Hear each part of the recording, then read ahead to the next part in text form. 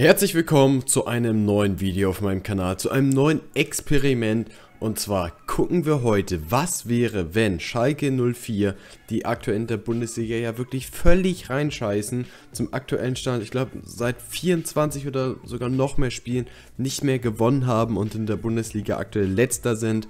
Was wäre, wenn dieser Verein all die guten Spieler der letzten Jahre, die man verkauft hat oder auch ablösefrei einfach so hergeschenkt hat, wenn man die alle behalten hätte, was wäre dann aus diesem Verein geworden? Das werden wir uns heute angucken in diesem Video. Und das hier ist sie also, die Schalker Mannschaft, wie sie aussehen könnte, hätte man die ganzen hochveranlagten Spieler nicht abgegeben. Wir haben einfach im Sturm einen Embolo, einen Sané und ein Özil auf dem Flügel. Wir haben im Mittelfeld dann Draxler, Goretzka und Rakitic.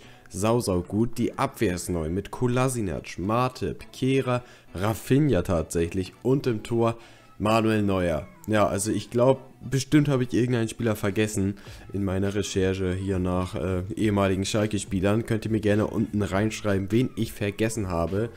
Aber das ist doch mal eine richtig gute Mannschaft. Auf der Bank noch Choupo-Moting, McKenny, Rudi, Caligiuri, Nübel, Hünteler, ähm, Konoblianka und ein Puki. Das sind so die Spieler, die ich hier alle hinzugefügt habe. Und natürlich die fucking Legende Max Meyer. Die darf man natürlich nicht vergessen. Ne? Also heftiger Typ, ein Weltklasse-Spieler, ja?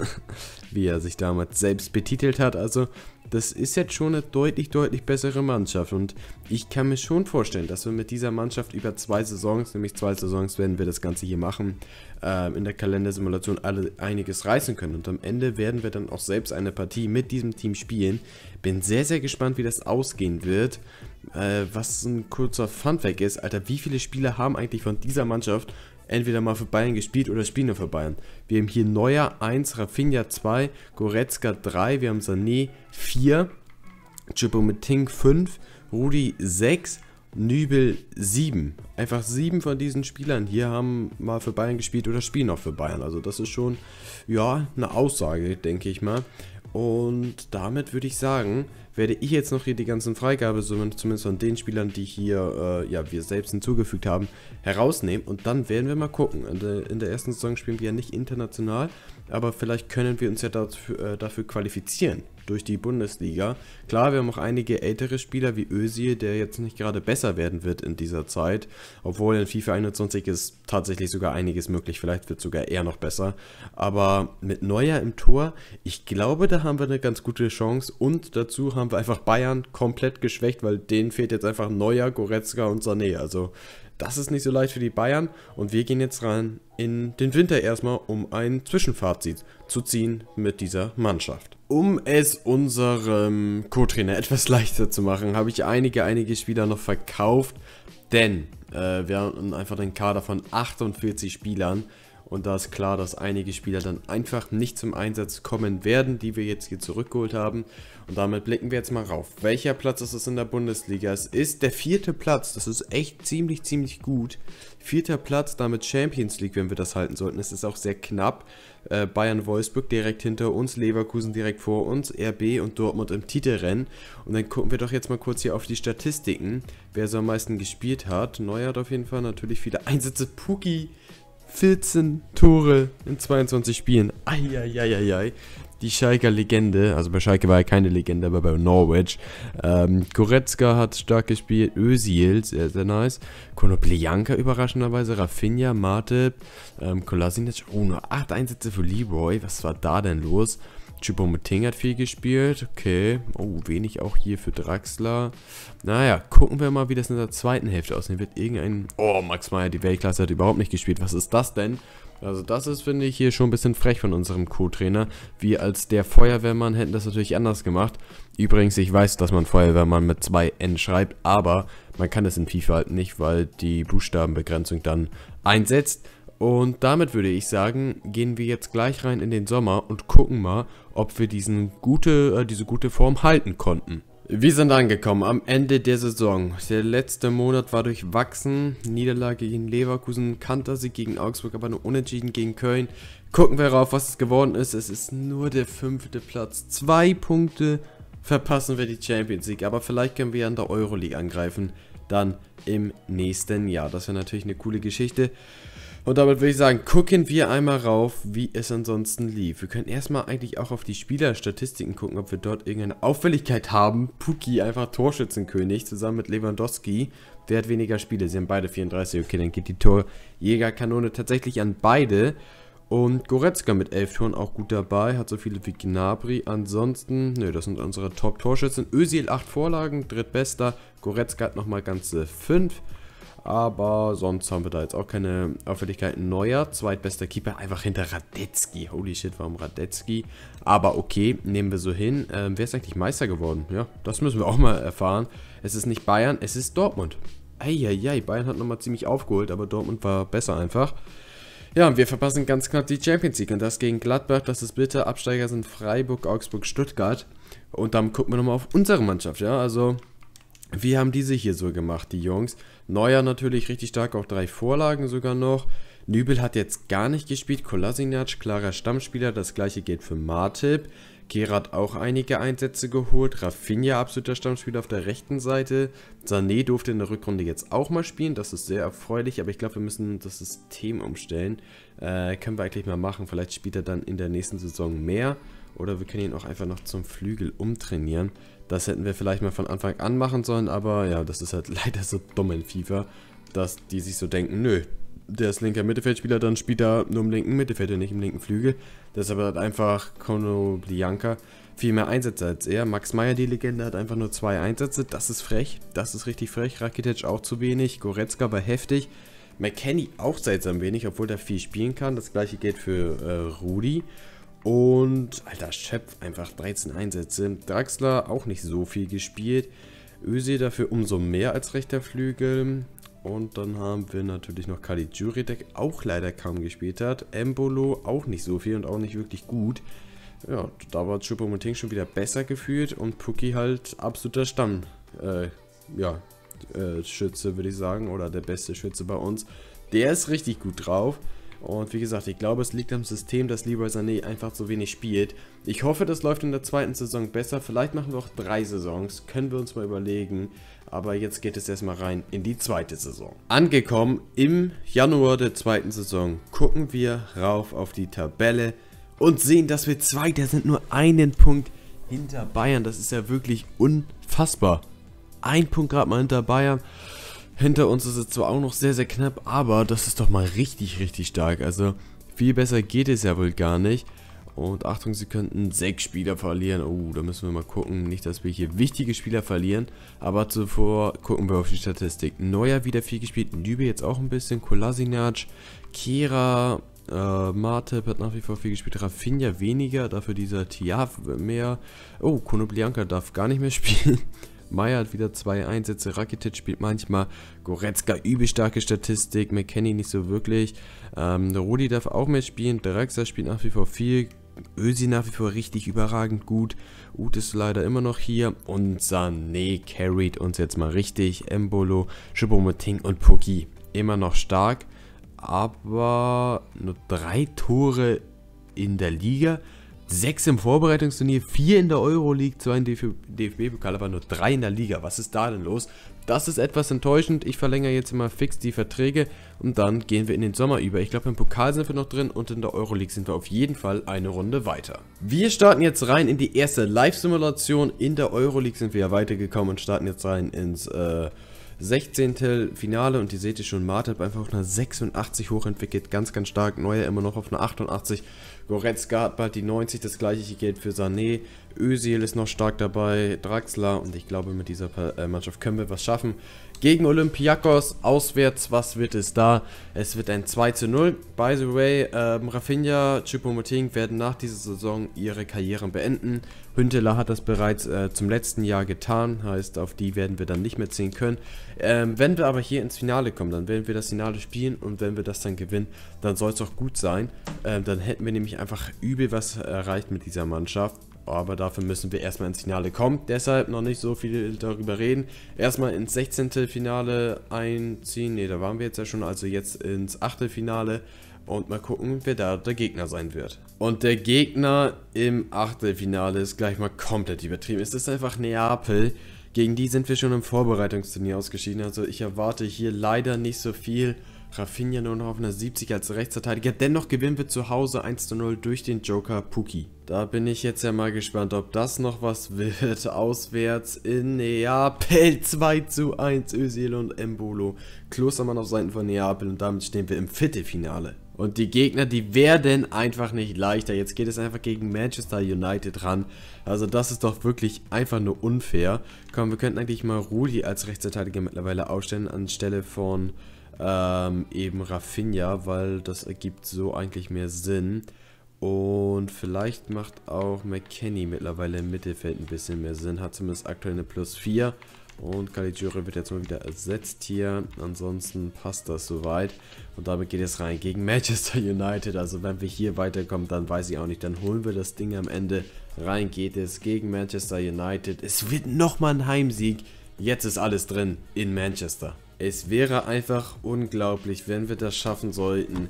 Ey, Daumen drücken, Daumen drücken in Manchester. Wird es ein 2 zu 1. Ich kann es nicht glauben, Halbfinale. Jetzt holen wir das Ding. Und der Gegner im Halbfinale ist vergleichsweise zu Manchester United und Neapel davor relativ leicht. Es geht nur gegen Sporting, aber das ist immer noch eine mega gute Mannschaft. Und ich sehe hier schon, Rafinha müssen wir natürlich wieder rausnehmen. Das müssen wir eigentlich hier nämlich ja machen, weil sonst äh, setzt sich das ja jedes Mal wieder zurück. Dann machen wir das jetzt hier auch eben und dann geht es einfach rein ins Halbfinale. Ich hoffe, wir kommen da irgendwie weiter. Komm, wir machen das jetzt. Was bringt mehr? Was bringt mehr? Ja, so bringt auf jeden Fall nichts. Dann machen wir es so. Und er kommt, wie gesagt, hier noch hin. Und dann passt das. Come on, Jungs. Wir können ins Finale einziehen. Ich glaube, wir sind im DFB-Pokal parallel auch im Finale. Also, wir haben zwei Optionen, was wir spielen. Aber wenn, dann würde ich die Eurofighter mitnehmen. Aber hier sieht es erstmal schlecht aus im Hinspiel. Und im Halbfinale müssen wir halt einfach im Rückspiel auf Martip verzichten. Auf unseren besten Innenverteidiger. Das macht das Ganze noch einmal schwieriger. Auf geht es jetzt also gegen Sporting. Irgendwie weiterkommen und wir tun's. Es ist genau dieses 1-0, was wir gebraucht haben. Durch Rakitic, der reingekommen ist, ausgerechnet für Martip. Ähm, unfassbar. Wir stehen im Finale. Und nicht nur das, wir stehen wie gesagt auch im DFB-Pokalfinale. Das werden wir simulieren. Und dafür werden wir in die Euroleague selbst reinspringen. Unfassbar geil. Und auch noch gegen Bayern. Viel besser geht es doch nicht. Zuvor aber, bevor es gegen Bayern reingeht, geht es erstmal gegen Bayer. Und das zurück mit Martip gehen wir rein. Können wir hier den ersten Titel holen gegen Leverkusen? Wir tun es. 2 zu 1 gewinnen wir durch das Tor von Sané und Draxler auf Leverkusens Seite trifft Weiser. Und damit gehen wir rein ins Euroleague-Finale. Auf geht es jetzt ins Euroleague-Finale und das ist ein deutsches Finale. Es geht Schalke gegen Bayern und es geht natürlich für uns mit einer halben Bayern-Mannschaft hier in die Partie tatsächlich. Wir haben Neuer, wir haben Sané, wir haben Goretzka, wir haben Rudi und noch ein paar andere Spieler. Choupo-Moting auf der Bank, also ja, ein paar Bayern-Spieler sind da doch dabei oder Ex-Bayern-Spieler mit äh, zum Beispiel einem Sebastian Rudi oder Rafinha. Und damit, ja, lasst uns doch mal reingucken, wie die Bayern hier spielen und wie wir natürlich hier auch spielen. Ich bin sehr gespannt auf deren Torwartposition. Sie haben sich Bernd Leno geholt. Das ist interessant. Ähm, ja, kann man, denke ich, machen. Ne? Ist ein guter Keeper. Warum eigentlich nicht? Weil wir haben ja auch noch Nübel und damit haben wir ja auch noch deren zweiten Torwart in der aktuellen Saison. Und deshalb mussten sie sich da natürlich verstärken. Und damit würde ich sagen, reicht das ja eigentlich auch, was die Zeremonie angeht. Wir wollen jetzt hier diese Aufstellungen sehen. Die Hymne ist ja jetzt nicht so die allergeilste. Mascarell haben wir dorthin verkauft tatsächlich. Ähm, der hatte auch ein Angebot aus Spanien, aber er hat sich wohl für die Bayern entschieden. Dann am Ende Alaba sehen wir hier noch bei Bayern. In echt wird er wohl in diesem Jahr, wo wir uns hier gerade befinden, nicht mehr Bayern spielen. Das gleiche gilt wohl auch für einen Javi Martinez. Und jetzt würde ich dann doch sehr, sehr gerne einmal auf die Ausstellungen gucken dürfen bei uns. Mesut Özil unter anderem in der Startformation Embolo und natürlich auch ein Leroy Sané. Jetzt ist es aber Zeit, noch, noch hier kurz den Handshake. Das ist die Trophäe, äh, Trophäe, Tro Trophäe, die wir gewinnen wollen. Ähm, und das ist unsere Mannschaft. Neuer im Tor, davor eine Viererkette. Kolasinac, Martep, Kera, Rudi, McKenny, Goretzka, Draxler und dann Sané, Embolo, Özil. Also, das ist doch mal eine geile Mannschaft. Also, wenn Schalke in echt so laufen würde, du, da könnte man den ja fast zujubeln. Und ja, Mannschaftsfoto machen wir natürlich auch noch. Ich denke mal, das könnte auch eine gute Option für ein Thumbnail sein. Und dann gucken wir auf jeden Fall, oh, ein bisschen hell, ne, Jungs, oh, Hilfe. Ähm, dann gucken wir auf jeden Fall noch auf die Bayern-Mannschaft, die natürlich auch relativ interessant, denke ich mal, ist. Hier mit Kimmich sehen wir auf jeden Fall Bernd Leno natürlich den Neuzugang, aber auch der einzige Neuzugang, wenn ich das jetzt hier und Mascaret halt äh, richtig überblickt habe. So sieht es aus. Es ist Leno, Alaba, Hernandez, Süle, Martinez, Kimmich, Mascarell, Gnabry, Coman, Zirkzee, Lewandowski. Also ganz komisch, wie die hinten spielen. Einfach mit den beiden Linksfüßen rechts und die beiden Rechtsfüße links. Aber okay, wir gehen rein ins Finale. Ja, das ist das 1-0 für die Bayern. Flanke Alaba und dann Zirkzee weiß nicht, kommt er ganz einfach zum Abschluss. Äh, oder zum Kopfball, eher gesagt. Also hier ganz locker reingechippt von Alaba und dann, weiß nicht, wer, wer ja, okay, es verteidigt Ösi gegen Zirkzi. Also den, dieses Kopfballduell gewinnt, glaube ich, jeder, der einen halben Zentimeter größer ist als Ösi. Draxler, Embolo, Embolo, Embolo, Ausgleich! Der Schweizer macht es. Der Mann, der gefühlt nie für Schalke getroffen hat, obwohl er ein Megatalent war. Damals, als Schalke ihn sich geangelt hatte. Bei Gladbach wieder in die Spur gefunden hat, zumindest einigermaßen. Und jetzt hier auch zurück im Schalke-Trikot. Ja, ein paar Tore machen will. Macht das hier stark. Spitzer Winkel, dennoch super Abschluss. Keine Chance Leno. Und der Ausgleich in diesem Finale. Draxler. Embolo steht wieder völlig frei. Embolo 2 zu 1.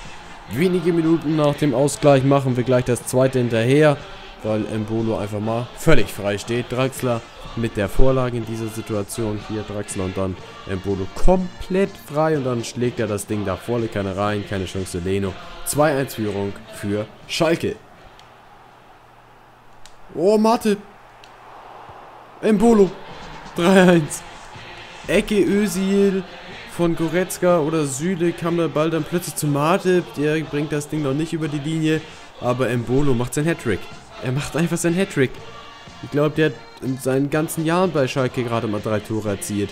Und hier macht er in einem Spiel drei. Ganz komisches Tor. Also da war wirklich alles komisch dran. Also auch der Schuss hier noch. Eieieiei, ganz komisches Ding. Leno hat das Ding noch fast. Aber es ist der Hattrick für Breel Embolo. Oh, Zirkzi, Zirkzi, 3-2. Bayern kommt zurück in der zweiten Halbzeit. Embolo, Embolo rennt einmal quer übers Spielfeld. Embolo, Draxler, Sané. 4 zu 2 durch Leroy Sané. Er macht also auch noch sein Tor, Leroy Sané. Ja, bis jetzt relativ unauffällig, aber Embolo hat hier einfach in die Show gesteht. Und an diesem Tor ist Embolo wieder nicht unbeträchtlich daran beteiligt. Draxler mit der nächsten Vorlage, Sané mit dem Treffer und wir werden das jetzt nutzen, um unsere drei Wechsel auch hier noch zu machen in dieser Partie.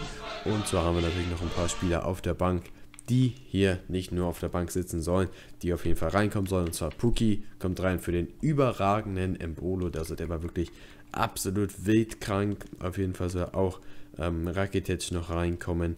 Und als letzten bringen wir fucking Max Meyer rein. Kommt für Mesut Özil, spielt er jetzt einfach da. Flügel, passt schon. Also drei Legenden nochmal hier rein für den Hattrick-Held für Breel, Embolo und Co. Das war es jetzt also von diesem Finale. Wir gewinnen eine durchaus interessante Partie mit 4 zu 2 gegen die Bayern im deutschen Finale und haben damit nach dem DFB-Pokal auf jeden Fall auch die Euroleague gewonnen. Vielleicht haben wir ja sogar auch die Bundesliga gewonnen, das wissen wir noch gar nicht. Das werden wir gleich erst erfahren. 4 zu 2 im Finale, Briel Mbolo auf jeden Fall der überragende Mann. Und gleich kriegen wir hier unseren wohlverdienten Titel. Also was das hier für ein Weg ins Finale war, der war ja schon unglaublich und jetzt hier im Finale auch absolut überragend. Manuel Neuer wird hier gleich sich den Titel abholen dürfen als Kapitän von dieser Schalke-Mannschaft ohne Abgänge. Ich glaube, dieses Experiment war auf jeden Fall ein großer, großer Erfolg für, ja, für, für den Verein. Und ich glaube, würden sie das in echt machen, würden sie nicht minder erfolgreich sein. Aber natürlich, das ist ein absolut surreales ähm, Experiment. Deshalb heißt es ja auch Experiment. So wird es niemals in echt kommen.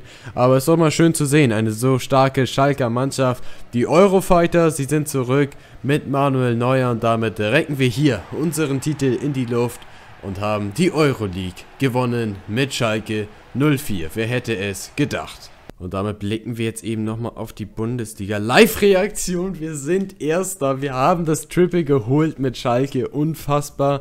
Erster in der Bundesliga, auch das noch, wie geil, ey. Unfassbar. Wer ist Top-Torschütze? Ist es Pucki? Ne, Leroy Sané richtig gut dabei. Lewandowski aber überragend. Goretzka 14 Tore. Auch hier gucken wir nochmal, ob wir andere Spieler haben, die hier noch richtig stark sind bei den Torschützen. Haben wir Pucki noch mit 8. Dann haben wir Draxler und Özil, die die meisten Vorlagen stellen. Draxler eine mehr sogar noch als Özil. Draxler auch irgendwie 2 im Finale oder so. Goretzka nochmal mit 5. Auch das ist stark. Neuer wieder zweitbester Keeper. Richtig, richtig gut. Und einfach das Triple gewonnen. Also das ist doch mal richtig, richtig krass. Gucken wir nochmal hier auf die Statistiken. Neuer Neuer überragend. Ähm, Kolasinac ganz, ganz krass. Äh, Kera viel gespielt. Martip. Rafinha noch ein paar Spiele gemacht. Der ist jetzt uralt. Meyer hat kaum gespielt. Kolumb äh, Konoplianka hat kaum gespielt. Rudi hat ein paar Spiele. McKenny war am Ende sogar Stammspieler. Goretzka richtig, richtig stark. Rakitic in Ordnung. Ähm, Draxler, sauguter Vorlagengeber. Das gleiche gilt für Öse. Der hat auch noch ein paar mehr Tore sogar gemacht. Auch das ist sogar stark. Und dann haben wir Caligiuri ja, sogar auch ein paar Spiele gemacht. Und Leroy Sané absolut überragend. Also, dass wir ihn zum linken Flügel umgestellt haben, hat richtig was gebracht. Mbolo stark. Puki immer noch ziemlich gut, auch wenn es zu wenig Tore in der Liga sind. Chipo Meting sogar auch noch ein Tor irgendwo gemacht im Pokal. Und damit war's das mit diesem Experiment. Wenn es euch gefallen hat, dann lasst gerne einen Daumen nach oben da. Schreibt mir gerne in die Kommentare, mit welchem Team wir sowas nochmal machen sollen. Mit Dortmund haben wir das schon mal in FIFA 20 gemacht. Wir könnten sowas auch vielleicht mit anderen Vereinen, Stuttgart wäre da sehr interessant beispielsweise machen. Ähm, und schreibt mir auch mal gerne in die Kommentare, ob wir auch äh, Spiele nutzen sollen, die nur in der Jugend bei diesem Verein gespielt haben. Weil hier hätten wir beispielsweise dann noch einen Gündogan nehmen können. Aber der hat nun mal nie für die Profis von Schalke gespielt. Deshalb, ja, ist es interessant, ob man sowas machen sollte. Ähm, und ja, wenn ihr sowas nicht verpassen wollt, solche Experimente oder andere coole Videos über den Karrieremodus in FIFA oder PES, dann lasst gerne auch ein Abo auf diesem Kanal da. Und wir sehen uns morgen wieder beim nächsten Video und in einer Woche bei einem neuen Experiment oder etwas dergleichen. Denn immer Sonntag soll jetzt ein Special-Video kommen und nächsten Sonntag geht es dann weiter. Bis dann, macht es gut und ciao.